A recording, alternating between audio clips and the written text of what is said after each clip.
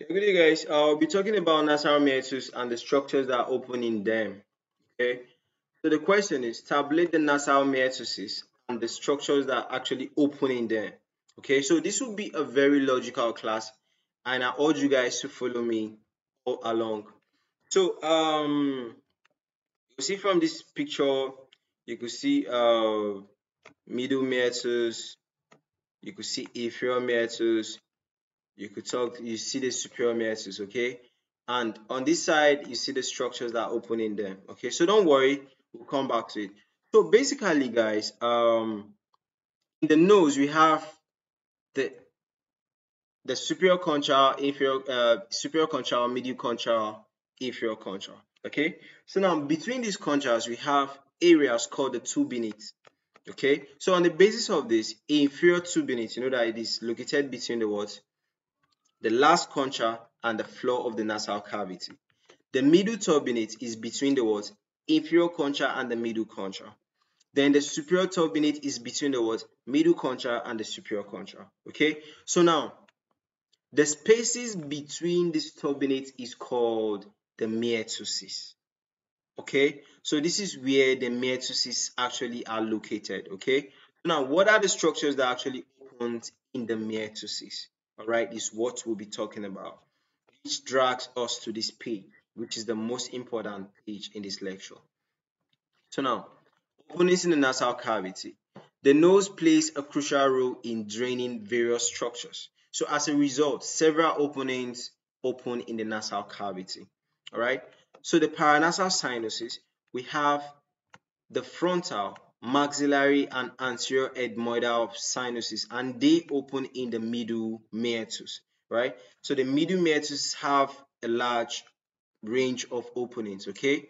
We have the frontal maxillary and anterior ethmoidal sinuses okay? So the semilunar hiatus which is a crescent shaped groove on the lateral walls of the nasal cavity marks the locations of these openings Okay. Then next we have the nasolacrimal gland, um, nasolacrimal duct. And the nasolacrimal duct actually drains tears from the eye and it opens into the inferior meatus. That's why sometimes when you are crying, you tend to actually have watery catarrh. Okay. Is because of this draining. Okay. So the nasolacrimal duct, let me see here. Nasolacrimal duct opens in the middle what opens in the middle, opens in the inferior meatus. All right, that's the last meatus. Okay, then we have the Eustachian tube, also opens in the inferior meatus. Okay, so it opens into the nasopharynx at the level of the inferior meatus. Okay, and this allows it actually balances uh, the air pressure between the ear and the nose. Okay, which is very very important. And how about posterior ethmoidal air sinus? Posterior ethmoidal air sinus. This is the posterior ethmoidal air sinus. And this opens in the what? Superior meatus. Alright? Posterior ethmoidal air sinus. Posterior ethmoidal air sinus opens in the superior meatus. Okay? So, um,